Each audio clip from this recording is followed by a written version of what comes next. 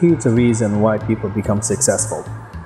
Some people say because you're so lucky, or you've been in the right place on the right time. It's not being in the right place at the right time. It's thinking ahead what's the right thing to do to become successful. When I discovered about the EnvisionTEC machine, I saw the future right there, in the blink of an eye. Hi, my name is Vatché. I'm a New York-based high-end jewelry manufacturer. I've been doing jewelry manufacturing since 1988.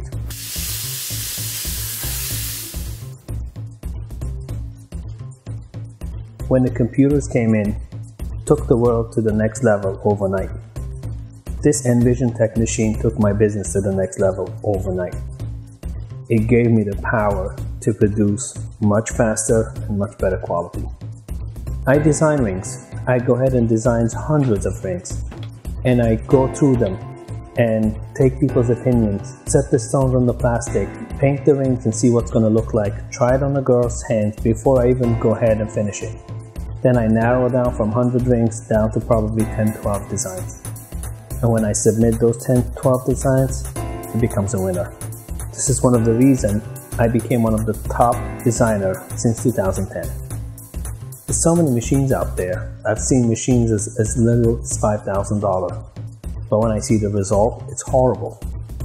And when the machine doesn't print good, the client doesn't know that the machine did not print good. The client thinks you don't know how to make jewelry.